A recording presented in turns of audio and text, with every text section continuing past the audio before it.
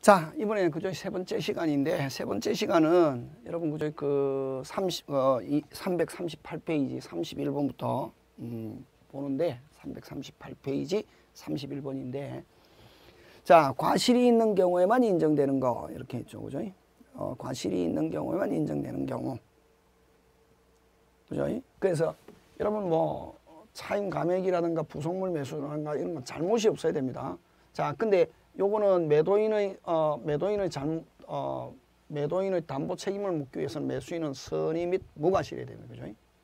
매수인은 어 매수인은 선의 및 무과실 이런 건 뭐 잘못이 없어야 위반했을 때는 매수 청구권 행사할 수 없고 그죠? 역시 마찬가지죠. 자, 근데 요 이행 불능으로 인한 해제와 손해배상은 잘못이 있어야 행사할 수 있다 거. 맞습니까? 예, 요거는 어, 한쪽에는 잘못이 있어야 된다. 그래서 요 과실이 있는 것만 인정되는 거 4번 되겠습니다. 그죠? 그래서 여기에서는 매수인은 선의 및 무과실에 되고 매도인은 뭐 과실 유무 관계없이 과실이 없어도 그죠? 책임져야 되고 그래서 매도인은 잘못이 있든 없든 무조건 책임지고 매수인은 선의 및 무과실에 되고 그죠? 여기는 어, 채무자가 잘못이 있, 는 경우 어? 해제와 손해배상 하는 거죠. 그래서 4번 뭐 되겠습니다. 5번 매수 청구권 잘못이 없어야 되고 자, 그 다음에 32번으로 갑니다. 해제에 관한 설명으로 틀린 거 매도인의 잘못으로 이행불능이 되면 끊습니다. 매수인은 최고 없이 계약을 해제할 수 있다. 이행불능 최고 없이 합의 해제된 경우 원칙 무슨 배상 없다? 손해배상 없다. 그죠? 1번, 2번 다 맞습니다. 자, 그 다음 3번 매도인이 매매 계약을 적법하게 해제했다 하더라도 매수인은 해제 효과가 발생하는 불이익을 면하기 위해서 착오를 가지고 어, 치, 계약을 취소할 수 있다. 이건 늘 많이 총칙할 때 많이 했죠. 그죠? 어, 한쪽은 상대방이 잘못을 가지고 해제했는데 상대방에게 착오가 있다. 다시 취소하면은 손해배상 책임지지 않는다. 그 다음에 여러 명이 있을 때 계약 당사자는 여러 명일 때 행사는 어렵게 소멸은 쉽게 거죠. 됐습니까? 예. 1인에 대해서는 효력이 없다. 자, 어? 행사는 어렵게 행사는 전원에 대해서 행사해야 된다. 저, 근데 반드시 동시에 할 필요는 없지만 순차적으로 하더라도 전원에 대해서 하면은 효력이 있다. 1인에 대해서는 효력이 없다. 그래서 1, 2, 3, 4 다 맞습니다. 5번 합의 해제. 그죠?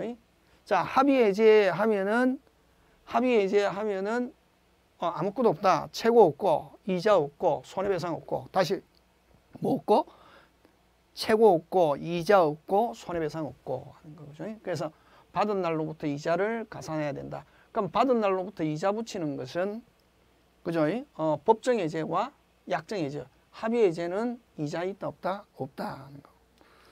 자, 그 다음에 33번으로 갑니다. 해제 틀린 거. 자, 계약을 해제하면 계약은 처음부터 없었던 거로 다뤄진다. 계약을 해제하면 계약은 처음부터 없, 맞죠? 그 다음 합의 해제하면은 손해배상하기로 하는 등 특별한 사정이 없으면 무슨 배상 없다? 손해배상 없다 하는 거. 그 다음에 3번 계약 해제 효과는 이익의 범위는 특별한 사정이면 이익이 현존하는 여부나 선의 악이 불문하고 받은 이익 전부이다. 3번도 맞고 4번 자 해제된 계약으로부터 생긴 법률 효과에 기초하여 해제 후, 자, 여러분, 해제 후 말소 등기 전에 양립할 수 없는 새로운 이해관계를 맺은 제3자는 자, 해제 후 보호받는 제3자는 해제 후 보호받는 제3자는 선의의 제3자라 됩니다. 이해관계를 맺은 선의 제3자고 해제 전에는 선악 불문하고 어, 보호받지만 해제 후 됐습니까? 해제 후 보호받는 제3자는 선의의 제3자라야 해제의 영향을 받지 않는다.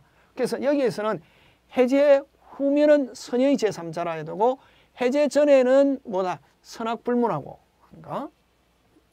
그래서 틀린 것 4번 틀립니다. 조금 어려운 지문에 해당하는데 그 여러분 그냥 배운 거 정확하게 알고 있으면 별로 어려운 건 없습니다. 그래서 틀린 거 4번 되겠고 5번 중도금을 지급한 어, 매수인은 약정 해제 사유가 발생하면은 어, 계약을 해제할 수 있다. 그죠? 뭐 중도금을 지급했다 하더라도 약정 해제 사유가 발생하면 해제할 수 있다. 5번도 맞습니다. 자, 그 다음에 34번으로 갑니다. 자, 틀린 것 갑니다. 틀린 것. 자, 해제했다 하더라도 다시 어, 착오가 있다. 계약을 취소할 수 있다. 5. 합의 해제. 이건 제3자 보호 규정 그대로 적용됩니다. 그 다음에 어, 3번 갑니다. 어, 이행불능을 이유로 계약을 해제하려면 대금 변제 제공을 하여야 자, 요거는 제공 없이 해제할 수 있다. 여러분 여기서 그죠? 그 뭐 한번 정리를 해보면 여러분 우리 이론할 때 다 했습니다. 자 해제는 여러분 법정 해제, 약정 해제, 합의 해제 이렇게 세 개 있는데 됐습니까? 요, 요 최고 이자 손해배상 그 다음에 제3자 보호 이렇게 있는데 법정해제는 원칙 최고 위에 이자 붙이고 손해배상 있고 제3자 보호 다 되고 그죠?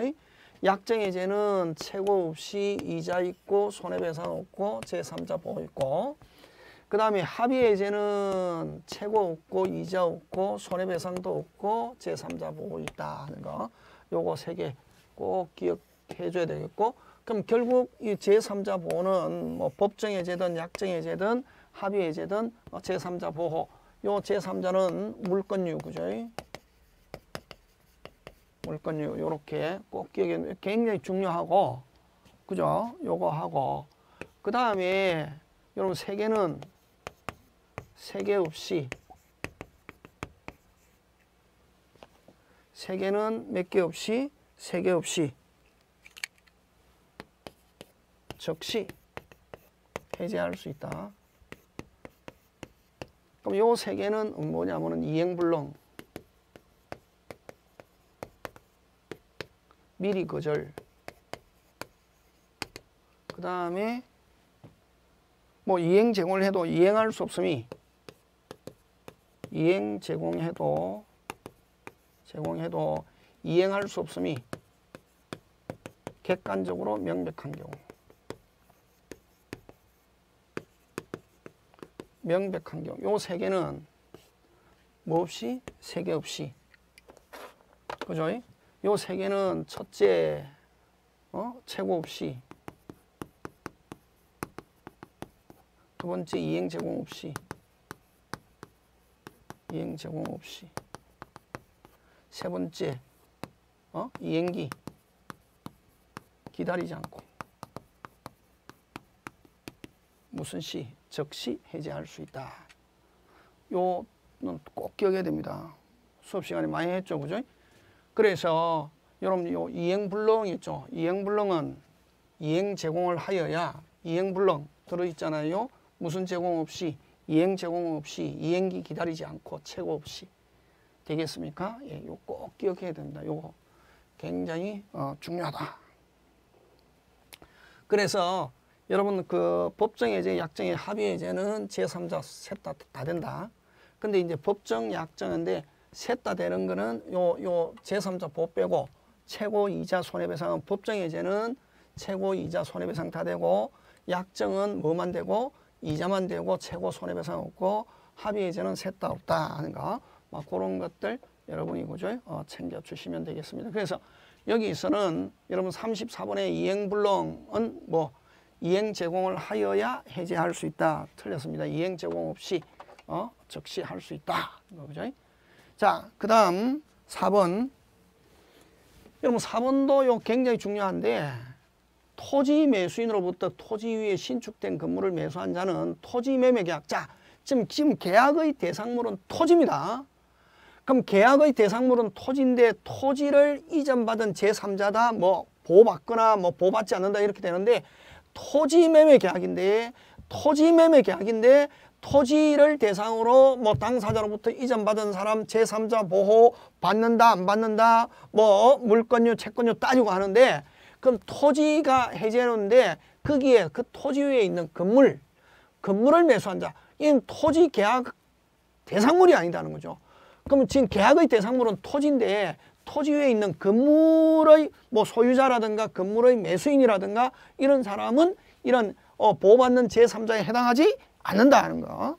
그래서 지금 요 계약의 대상물은 토지지 건물이다 아니다 아니다. 그래서 제3자 보호에 해당하지 않는다는 거 꼭 기억합니다. 굉장히 중요한 지문. 잘 나오는 지문입니다. 5번 공유자가 공유토지의 매매 계약을 체결한 경우 특별한 사정이 없는 공유자 중 1위는 다른 공유자와 별개로 자신의 지분에 관하여 매매 계약을 해지할 수 있다. 되겠습니까? 예.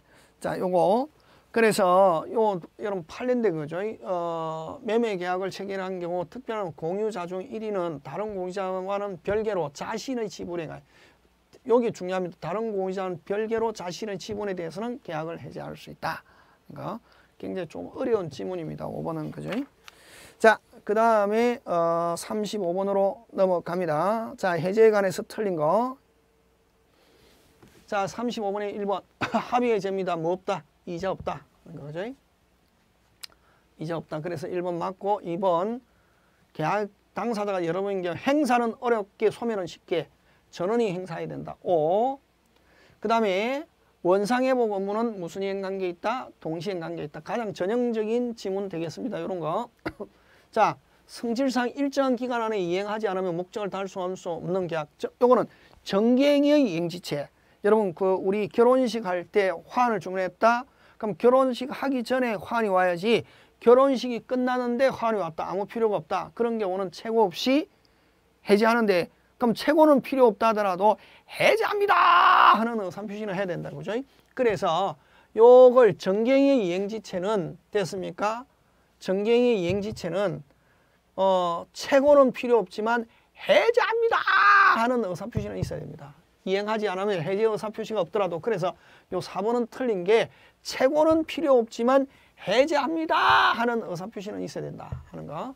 그래서 4번 틀리고 5번 대금 채권이 양도된 경우 자 채권이 양도된 경우 자 여러분 해제를 가지고 보호받는 제3자가 되려면 해제가 영향을 미치지 않는 제3자가 되려면 물건 유로 해야 됩니다. 근데 대금 채권이 양도된 매매계약이 해제된 경우 양수인은 해제로 권리를 침해당하지 않는 제3자에 해당되지 않는다. 됐습니까? 매매 대금 채권이 양도된 경우 해제된 어, 경우 그 양수인은 해제로 권리를 침해당하지 않는 제3자에 해당되지 않는다. 보호받는 제3자에 해당되지 않는다 하는 거 되겠습니까? 예, 요, 요 채권 양수인은 보호받는다 못 받는다 못 받는다 하는 거. 뭐 그런 것들 여러분이 그죠? 어, 챙겨 주시면 되겠고 자, 그다음 36번 합의 해제, 합의 해제 계속 나오죠. 합의 해제 무슨 배상 없다? 손해배상 없다. 바로 요거 알고 있으면 되죠. 합의 해제 무슨 배상 없다? 손해배상 없다. 그래서 틀린 건 1번. 그 다음 이자 있다 없다? 없다. 거 되겠습니까? 자, 뭐 취소가 되든 아예 어, 일방적으로 형성권에서 해제가 되든 합의에 서 해제가 되든 소유권을 언제 복귀하냐면 즉시 복귀한다. 그죠? 3번 맞다.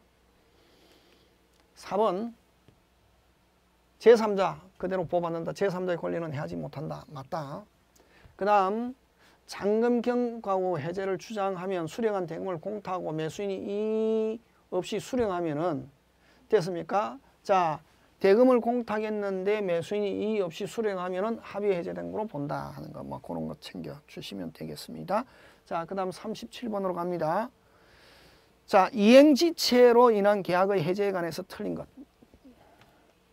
이행지체. 채권은 반드시 일정한 기간을 정하여야 하는 것은 아니다. 그래서 만약에 자, 채권 만약 채권은 반드시 해야 되지만 그 최고할 때 일정한 기간을 반드시 명시해야 되는 거야. 그럼 최고 기간을 정하지 않고 최고하거나 짧게 두고 최고해도 최고로서는 효력이 있고 그런 경우는 상당 기간이 경과하면은 해제할 수 있다. 그래서 반드시 명시해야 되는 건 아니다. 맞다. 그 다음에 해제는 손해배상 청구에 영향을 미치지 않는다. 맞죠? 자, 이거 조심해야 됩니다. 해제는 손해배상 청구에 영향을 미치지 않는다는 말은 해제와 별도로 손해배상 청구할 수 있다를 이렇게 표현합니다. 자 잘못이 있으면 손해배상 청구할 수 있다. 이걸 손해배상 청구에 영향을 미치지 아, 않는다. 이렇게 하는 국어. 그 다음 1번, 2번, 어? 되겠습니까? 맞다. 그 다음에 정경이는 아까 결혼식 환, 일정한 시기에 이행하지 않으면 상대방 최고 없이 계약을 해제할 수 있는데 해제합니다 하는 의사표시는 해야 된다. 여러 명일 때 해제는 1인에 대해서 하더라도 자 행사는 어렵게 소멸은 뭐 쉽게죠. 그래서 4번 틀렸습니다. 5번 쌍무계약에서 당사 일방이 이행을 제공하더라도 상대방이 이행할 수 없음이 명백한지 여부는 됐습니까? 해제 시를 기준으로 한다 하는 거 됐습니까? 해제 시를 기준으로 한다. 요것도 기억해 놔야 되겠습니다. 그래서 아까 죠 객관적으로 이행할 수 없음이 명백한 경우는 최고 없이 해제할 수 어, 일방이 제공하더라도 이행할 수 없음이 명백한지 여부는 계약 해제 시를 기준으로 판단한다 하는 거. 막 그런 것들 여러분이 그죠? 어, 기억해 놓습니다. 그래서 5번은 굉장히 중요한 지문, 조금 어렵고 중요한 지문입니다. 그거 여러분이 기억해 주시면 되겠고. 자, 그 다음에 38번으로 갑니다. 소호표로부터 보호받을 수 있는 제3자. 자, 보호받을 수 있는 제3자 하면 물건유, 물건유. 해제 전에 물건유는 선악불문하고, 어? 제3자인데, 채권을 양수하여 하면 이거는 어쨌든 여러분 채권유는 보호받는 제3자에 해당하지 않고 소급 복귀한다 하는 거지. 그래서 이거는 채권을 양수 요게 줄치면 되겠고 이거는 보호받는다 못 받는다 못 받고 해제 전에 해제 대상의 채권 자체를 압류 역시 채권 자체 계약상의 채권 자체 보호받는다 못 받는다 못 받는다 하는 거 채무자 명의로 이전된 부동산을 자 이전 등기된 부동산을 자 물건에 대한 가압류 가처분권자는 보호받습니다. 자 이전 등기된 부동산을 가압류 어, 한 채권자 뭐 받는다? 보호받는 제3자다 하는 거 1번, 2번 채권유, 3번 물건유 자 그 다음에 매수인으로부터 해제되기 전에 주택을 임차한 후 대항 요건을 갖춘 임차인이라야 보호받습니다. 대항 요건을 갖추지 않은 임차인은 어, 채권유 보호받는다 못 받는다 못 받는다 하는 거. 그 다음에 부동산을 정려받은 후 이전 등기를 마쳐야 보호받습니다. 뭐 그런 것들 여러분이 그죠? 어, 챙겨주시면 되겠다. 자, 그 다음에 39번. 여러분 그죠? 39번인데 여러분 갑 토지와 을 주택에 대한 교환계약에 따라 이전 등기 마쳐지는 계약이 해제되었다. 소급효로서 보호받는 제3자에 해당하지 않는 자. 자, 해당하지 않는 자입니다. 자, 어, 을로부터 X 토지를 매수하여 됐습니까? 자, 을로부터 X 토지를 매수하여 이전 등기를 자, 어쨌든 당, 계약 당사는 갑과 을인데 을로부터 X 토지를 매수 이전 등기를 격려한 자 무슨 자 제3자 그죠? 무슨 자 제3자 보호받는다 물권유 자 그 다음 이연 을로부터 X 토지를 매수하여 소유권 이전은 가등기 역시 어 뭐 어쨌든 등기된 사람 가등기된 사람도 뭐 받는다? 보호받는다. 자, 그 다음 갑으로부터 Y주택을 임차하여 대항요건을 갖춘 자 보호받는다 거. 그 다음에 토지상의 을의. 자, 아까 죠 계약은 토지인데 그 토지상의 을의 신축 건물을 매수한 자. 자, 지금 계약의 대상물은 토지인데 그 토지에 건물 지은 자는 보호받는 제3자가 아니다. 이렇게 했죠. 그래서 어, 틀린 것은 보호받는 제3자가 아닌 것은 리을 한 개밖에 없다. 그 다음 40번. 역시 또 제3자에 해당하지 않는 자. 하는 거. 채권을 양수하여. 이건 채권. 채권유. 무슨 유? 채권유. 이거는 보호받는다 못 받는다? 못 받는다. 하는 거 제3자에 해당하지 않는다 그 다음에 이전 등기된 부동산을 해제된 감유한 자 어쨌든 뭐 그 등기된 부동산을 뭐 감유한 제3자 보호받는다. 그 다음에 채권을 압류한 자, 채권을 압류한 자는 채권유. 그래서 어, 제3자, 보호받는 제3자에 해당하지 않는 사람은 기업과 디귿 해서 이거는 채권유 이렇게 되겠다 하는 거. 3번 되겠고, 그죠? 자, 그 다음에 41번으로 갑니다. 자, 해지에 관한 설명으로 틀린 거. 해지는 묵시적으로도 가능하고 도달하여야 도달하면 처리할 수 없고 기간 약정이 없는 언제든지 해지 통과할 수 있고 그죠? 자 임대인이 해지 통과하면은 6월, 임차인이 하면 1월 그죠? 그거. 그 다음에 여러 명이 있는 경우 1인에 대한 해지권이 소멸하면 자 행사는 어렵게 소멸은 뭐 소- 쉽게 1인이 소멸하면 다른 당사에 대해서도 소멸한다 하는 거. 자, 그 다음에 특별한 사정이 없는 한 합의 해지로 어, 합의, 합의 해지, 합의가 나왔습니다. 이자 없고 손해배상 없다. 거. 그래서 틀린 것 5번 되겠습니다. 자, 그 다음에 42번 합의입니다. 합의 역시 어? 어, 합의 해제가 원상의 보관에서 반드시 약정해야 되는 것은 아니다. 맞다. 합의 해제된 경우는 손해배상이 있다 없다? 없다 원칙. 1번, 2번 맞습니다. 3번 합의 해제 뭐 없다? 이자 없다. 그래서 3번 틀렸습니다. 4번 어, 청약에 대하여 상대방이 변경을 가해서 승낙한 경우 그 청약은 효력을 잃는다. 계약 묻는 문제죠. 그 다음에 합의 해제의 경우도 법정 해제와 마찬가지로 제3자 보호받는다. 맞죠? 예. 그 다음에 43번 자 해제해지 계약의 해제해지 해제해지는 손해배상 청구에 영향을 미치지 않는다는 말은 손해배상 청구할 수 있다를 이렇게 표현합니다. 손해배상 그 다음에 아까 그 불이행의 의사를 명백히 표시했다. 세 개, 세 개. 몇 개? 세 개. 최고 없이 해제할 수 있다. 하는 거. 최고 없이 어? 이행기 기다리지 않고 제공 없이 해제할 수 있다. 이렇게. 이행불능. 역시 이행불능은 동시행 관계 있다. 됐습니까? 동시행 자신의 급부를 이행할 필요가 없다. 이행 제공 없이. 이행 불능, 이행 제공 없이. 되겠습니까? 이것도 세 개, 세 개. 요것도 세 개, 세 개, 세 개, 세 개. 요 세 개, 세 개. 요 세 개는 세 개 없이 적시 꼭 기억해야 됩니다. 굉장히 중요하다. 요 이행 불능. 그 다음 일부 이행 달성할 수 없으면 전부 해제 가능하고 여러 명일 때는 행사는 어렵게 소멸은 뭐 쉽게 이렇게 되겠습니다. 예, 잠깐 쉬었다가 매매 조금 하고 마치겠습니다.